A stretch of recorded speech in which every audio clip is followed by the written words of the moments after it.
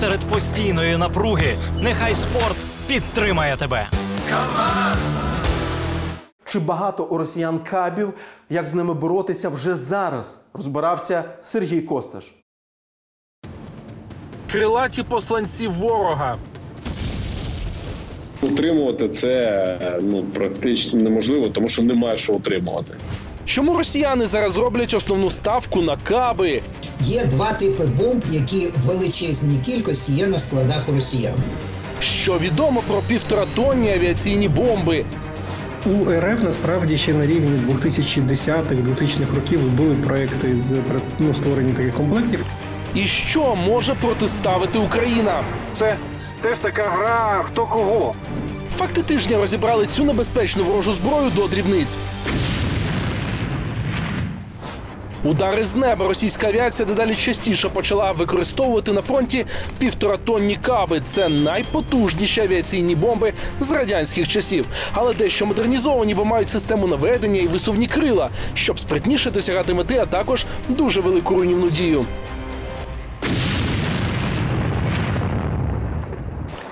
Ця зброя здатна вражати все в радіусі пів кілометра. Не встоїть ані бліндаж, ані будинок, ані укриття. Авіаційна бомба, як масою 500, так і 1500 кілограмів, не залишає по собі нічого, крім вирви. Я їх вважаю саме тим фактором, який зараз технологічним фактором, який зараз визначає сухопутну нашу війну. Ігор Луценко, колишній громадський активіст, а тепер військовослужбовець ЗСУ. Що таке смертоносна зброя росіян, знає напевно. Каже, на фронті є ділянки, які ворог не міг взяти штурмом роками, а кабами вибив доволі швидко. Багато хто каже, що Авдіївський Коксахім, котрий був насправді достатньо серйозним, укріпленим, ще в Радянському Союзі планувався під ядерну війну об'єктом, тим не менш його довелося залишити. Це не те, що там заскочили з шаблями і з е, кулеметами. Просто довелося його залишити через те, що туди прилітали десятки авіаційних бомб. Заступник командира 3-ї штурмової бригади Максим Жорін, який також воював в Авдіївці, каже, вести бої під таким пресингом вкрай важко.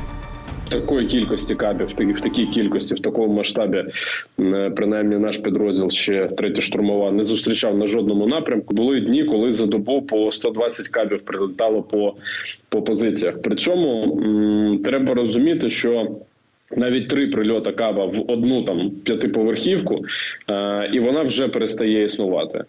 Е, тому жодних укріплень, жодних таких е, там підвалів, якихось е, фортифікаційних споруд, які могли б витримати м, ці удари, їх просто не існує.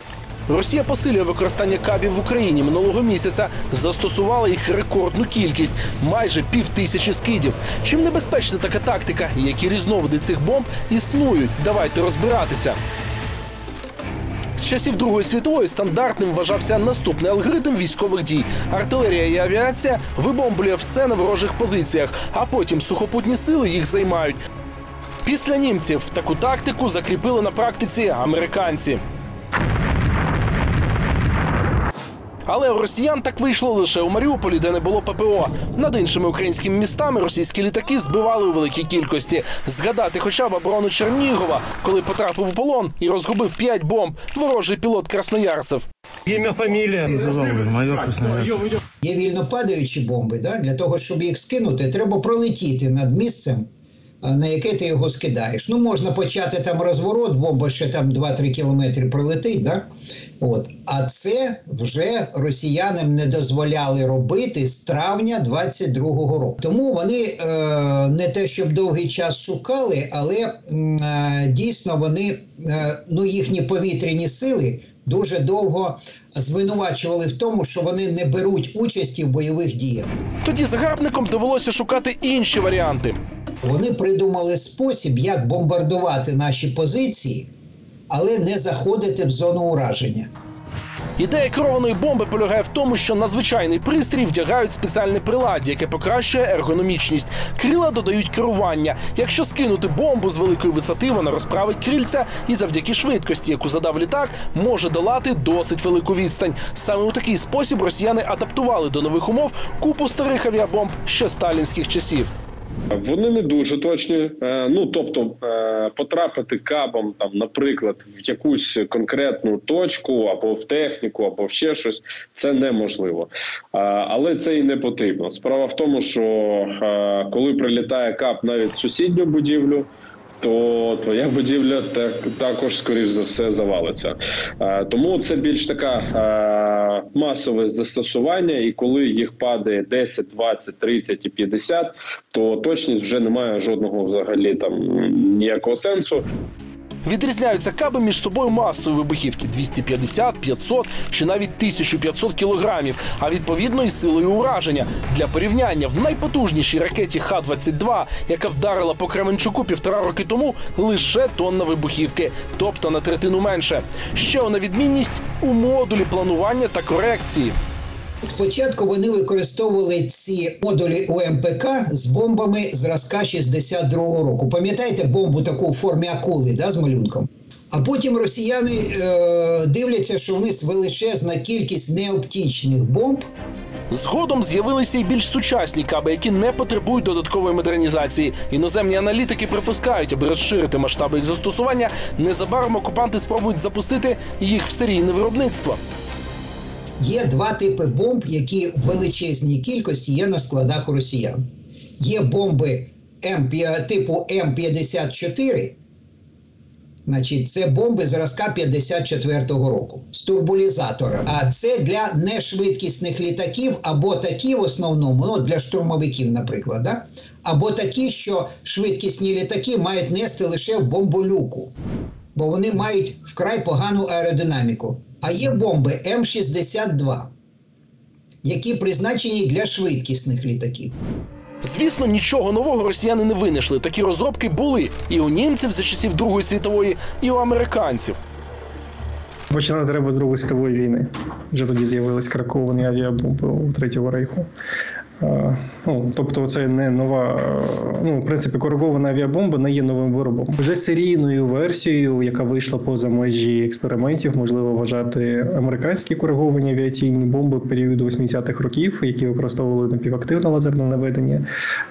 Згодом після появи і широкого розвитку безпосередньо систем супутникової навігації до них додався цей модуль навігації. Ворожі каби неабияк дошкуляють нашим оборонцям. І головна проблема у тому, що росіяни запускають їх на відстані, куди переважно не дотягуються українські системи ППО. Вони скидають і можуть і за 70 кілометрів скинути, якщо б'ють по передовій. Тут треба навіть Петріот не завжди може допомогти знищити. 40 кілометрів це все одно недосяжно для е, ЗРК середньої дальності, які там 40-45 кілометрів максимум при ідеальній висоті. От. А росіяни, е, значить, вони раніше е, просто скидали з висоти там 14 тисяч. На такій висоті е, ЗРК середньої дальності мають, е, можуть знищувати літаки ну, максимально там на 25-30 кілометрів, бо енергетика ракети не дозволяє одночасно високо підніматися і далеко полетіти. Відтак збити таку керовану авіаційну бомбу традиційним способом майже нереально. Каб летить з високою швидкістю, тобто швидкість запуска його це приблизно там 700-800 км на годину буває. Летить вона зі швидкістю там 300, 400, 500 км на годину. Збити таку бомбу кулеметом там чи зеніткою, зушкою ну практично нереально. Е, І доводиться думати про якісь дорогі ракети. А дорогі ракети це в 100 разів більше вартість. Тобто ми тут економічно просто не готові до того, щоб збивати такі е, об'єкти. Але що робити у своєму арсеналі? Україна теж має керовані авіабомби, поставлені закордонними партнерами. Але їхня кількість недостатня, аби скласти конкуренцію російським кабам. Боротися з ними могли б допомогти літаки F-16, але їх в українському небі поки немає. На перший погляд ситуація виглядає дійсно сумно, але це лише на перший. У кабів є е, слабке місце. Найперше це пуск з літаків. Пуск з дуже дорогих літаків. Ну, якщо брати якби координати нашої війни, то Су-34 це дуже дорогий літак, їх не так багато. В Цьому літаку потрібно звідки стартувати з якогось аеродрому. І якщо не давати базуватися там літакам на цих аеродромах, вони будуть змушені літати з дальніх аеродромів, брати менше ваги і е, лі- літати рідше, тобто зменшити навантаження кабами на лінію фронту. Це цілком реалістично. І Україна цю тактику вже активно застосовує. Лише у лютому Росія втратила 13 бойових літаків, 10 з них саме Су-34. Самоліт збили, летить, от падає. Льот! Але цей спосіб боротьби можливий за умов стабільного постачання в Україну систем Петріот, на які полюють росіяни, та боєприпасів до них.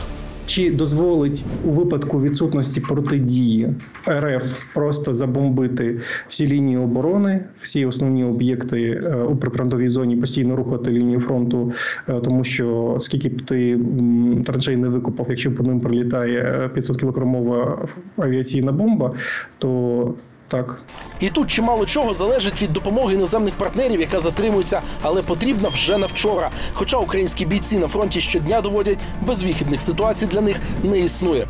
Сергій Костиш, факти тижня ICTV, Єдині новини.